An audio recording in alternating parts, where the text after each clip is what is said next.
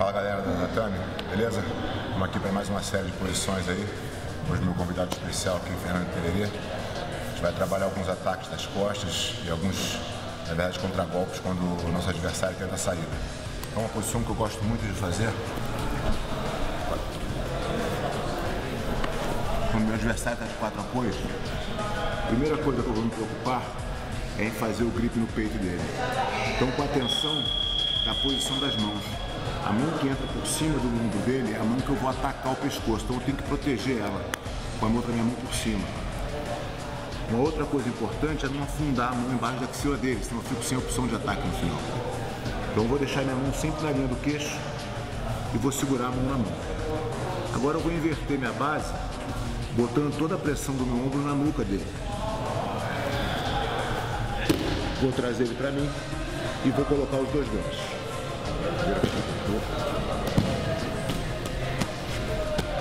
Assim que eu coloco os ganchos, eu jogo ele pro lado do meu cotovelo, que estava por cima do ombro, já preparando a gola para minha mão entrar.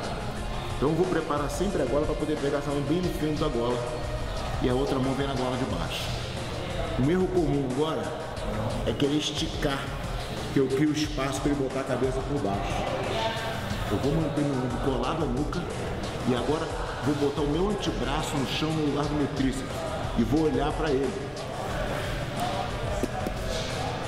Então não tem tensão na minha pegada nenhuma, o estrangulamento fica muito mais firme. Uma outra situação, quando eu consigo ganhar de novo o grip no peito dele, meu adversário tem a intenção de, me, de repor a guarda. Então ele levanta a perna do meu lado na intenção de sentar e fazer a reposição.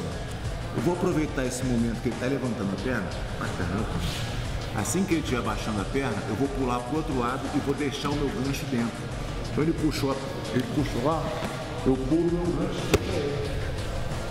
E aí eu já estou novamente com a mão na bola ou posso trocar direto para a mão atrás do ombro dele. Bota a mão atrás do ombro, bota o segundo gancho, palma da mão com palma da mão, meu cotovelo atrás das costas faz estrangulamento. Então sempre importante a gente trabalhar essa manutenção das costas.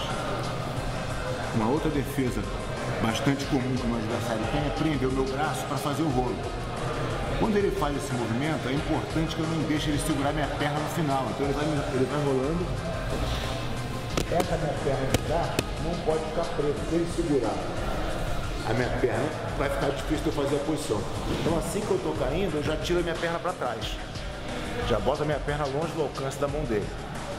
Aumento a pressão do ombro sobre a nuca e vou escorregando meu quadril, virando a barriga para baixo. Ele continua preso. Vou caminhando, vou sentando ele.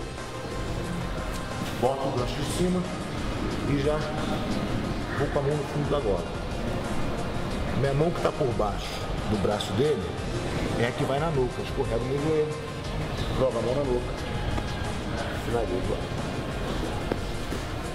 posição eu já estou nas costas, tentando atacar meu adversário, eu vou garantir o controle da gola de baixo. Agora de cima é a gola que ele se preocupa, que é a mão que vai atacar, na verdade, o pescoço dele. Ele estar sempre protegendo essa mão, é difícil de entrar. A mão de baixo é mais fácil. Controlei a mão de baixo. Se ele cair para o lado de cá, ele está caindo para o lado do ataque. Então ele está cometendo um erro. Ele vai tentar sair sempre para o lado correto da defesa, que é para o lado da minha mão que está por baixo. O problema para ele agora é o seguinte, quando eu tenho essa mão controlada, eu travo as costas dele no meu peito, eu evito que ele consiga escorregar as costas para o chão para fazer a defesa. Por mais que ele insista na ponte, ele vai fazer a ponte e o mais comum é que ele comece a brigar pelo meu gancho. Não tem problema, ele pode brigar no meu gancho, eu não preciso mais desse gancho. Estou garantindo as costas com a minha mão na bola. Vou entrar a segunda mão agora, lá no fundo. Só que aqui não tem estrangulamento ainda. Então ele não se preocupa muito, ele continua fugindo das costas do chão. Vou tirar o meu gancho de baixo. Importante agora, a minha cabeça tem que ficar do lado da minha mão. Tá vendo? Minha mão, tem a minha mão aqui, a cabeça dele e a minha. Eu tenho que jogar minha cabeça embaixo da dele. Como vou fazer isso? Vou virar de barriga para baixo. Então puxo meu gancho, boto a minha testa no chão. Agora minha testa está colada na minha mão de baixo. Abro minha perna esquerda no chão. Todo o meu peso agora vem na escápula dele aqui para baixo. E aí? Finaliza o estrangulamento. Falou galera, foram as posições de hoje aí. Alguns ataques nas costas. Espero que vocês tenham gostado. Ouça.